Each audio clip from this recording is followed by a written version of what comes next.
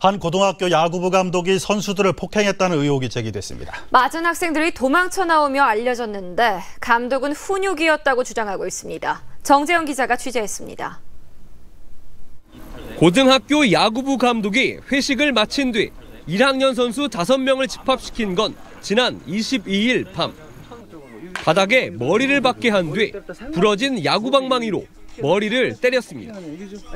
이어지는 발길질에 학생들은 가슴과 배를 두세 차례 걷어차였다고 말했습니다. 한 학생은 방망이를 막으려다 손가락을 다쳐 병원에 입원했습니다.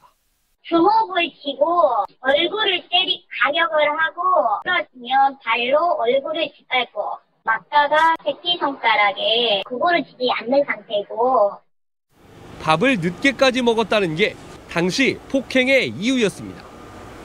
다음 날 새벽 학생들은 야구부를 집단 이탈했습니다.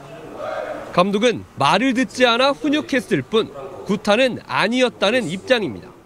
밥 먹는 태도가 너무 안 좋아갖고 주의를 주려고 그랬더니 이렇게 됐어요. 애들을 이제 폭력으로 때려갖고 아픔을 주겠다 그런 건, 그런 건 전혀 없었습니다. 하지만 도교육청 조사에서도 평소 선수들을 때렸다는 진술이 나왔고 결국 감독 직무가 정지됐습니다. 1990년대 프로 무대에서 투수로 활약했던 감독은 4년째 이 학교에서 선수들을 지도했습니다. MBC 뉴스 정재영입니다.